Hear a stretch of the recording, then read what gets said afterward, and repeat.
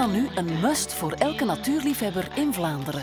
I found it strange that here uh, there was no snake, so I, I had my boots with me. and I was a bit afraid because in Brazil it's something that you should always mind.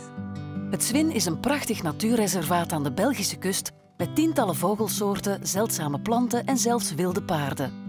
Vance Flanders trok zijn laarzen aan en ging met twee Braziliaanse expats op ontdekkingstocht. Reservation is very important in Belgium. A lot of birds passing through here in the migration season. In one day, if you have a lucky day, then you can see 70, 80 different species here in the area.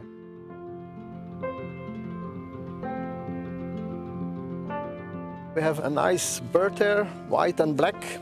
That's called uh, avocet. It's a wader with long legs and a very special bill. It's the only bird with the bill upsized. You can see there the stork, white stork.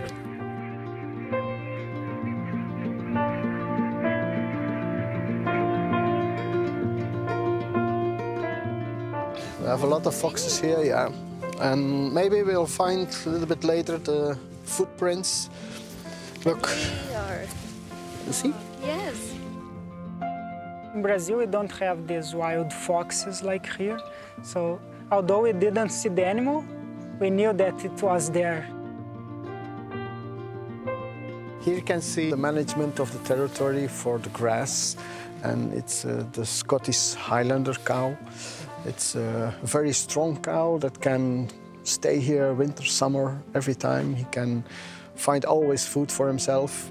They are beautiful. Uh, can I have one? Sorry. I will think about it. Okay, let, let's choose one. We're gonna be very quiet because we're gonna see the herd of a Konikpaard. It's the only horse that we now have that's a real wild horse. And they live free here. They can walk where they want, they can eat, and they live really wild here.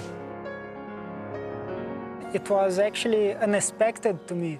I always loved horses and, and ride horse when I was young in Brazil, but seeing them like in the nature, doing whatever they want, it's really spectacular. So, because I had the idea that oh, they will be wild horse and they will be so far, but now they are so close. I felt at home here because particularly my region in Brazil is very similar. We missed our place and it was like nostalgic in that sense.